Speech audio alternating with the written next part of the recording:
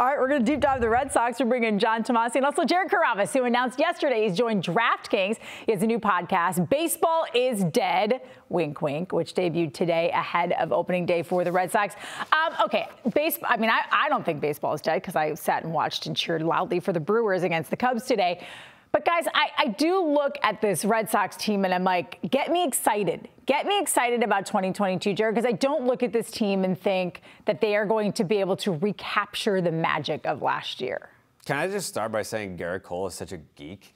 what, a, what a ridiculous clip that was. Oh my God. It's like it, a hippie with a shotgun. Yeah, and he sounds like Kermit. Anyways, uh, this. This Red Sox team this year, uh, and, and I think I was talking to Tomase before we went on they had a lot of things go right last year. This year, it's uh, the the Chris Sale thing. Eh, eh, people, that's like a negative. Everyone's like, "Oh, Chris Sale's hurt again, the rib and everything."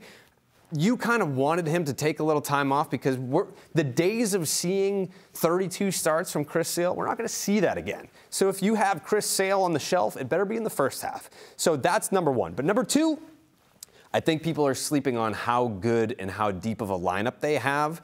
And I think when we go into spring training, we're talking about the Devers contract, the Bogaerts contract.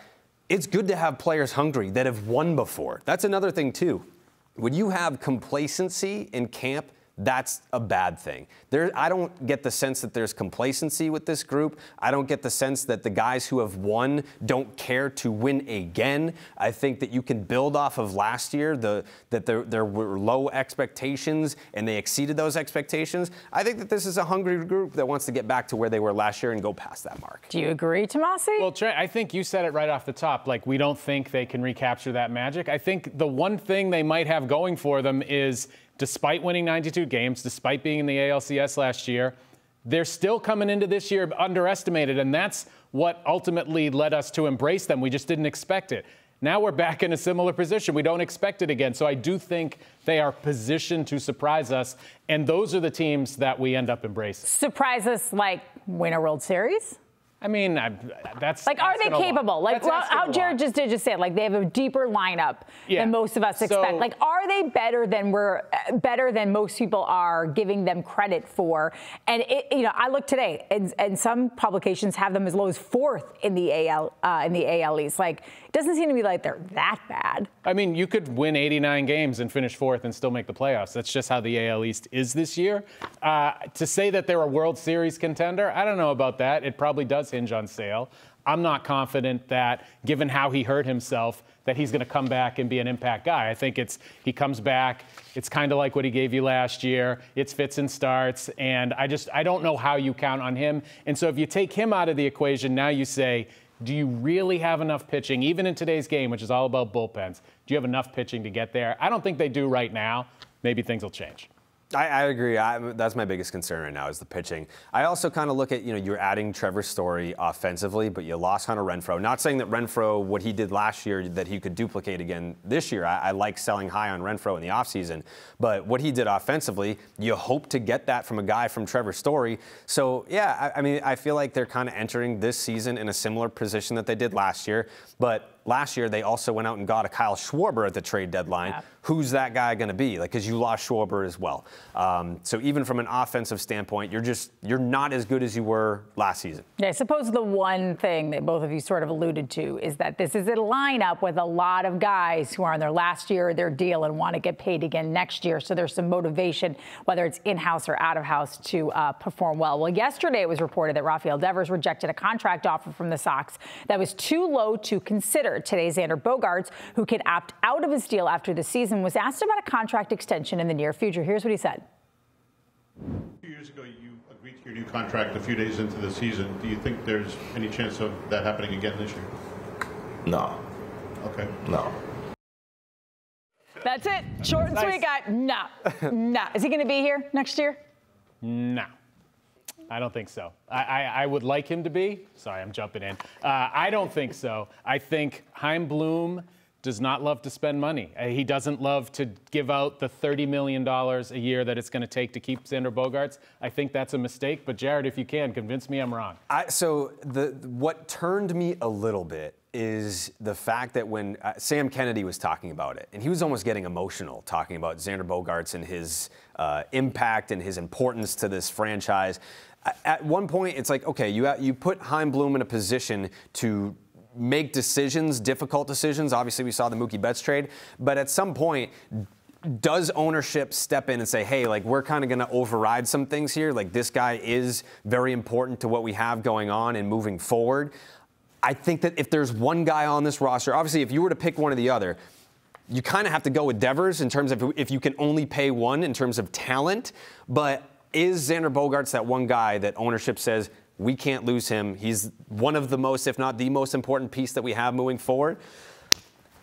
I could see that happening. I could. How I really much? Would, could. how much would you be willing, if you're the Red Sox, to to keep Devers and Bogaerts? How much would you be willing to give them?